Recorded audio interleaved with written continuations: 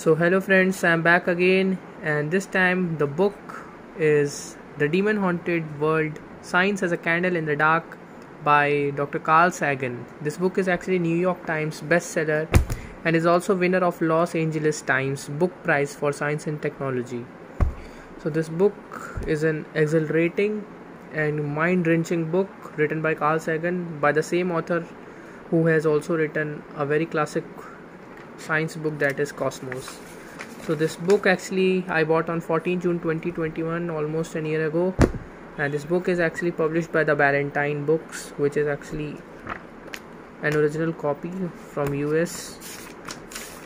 So the rating which I have given to this is uh, totally 4.2 by me and the by 4.3 by BQ, combining it to 8.5 out of 10 so this is an amazing book this book is actually mainly on the different topics like on the extraterrestrial intelligence, the demon haunted world, the faith healing, and the aliens abduction. The anti science like astrology is still being practiced across the world, and that's all.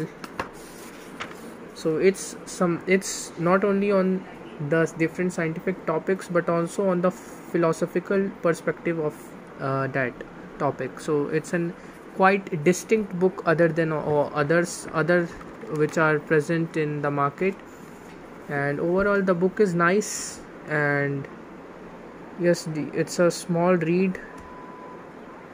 It has near about 450 pages. And the dimensions are are also quite different. So a must buy if you are looking to read something different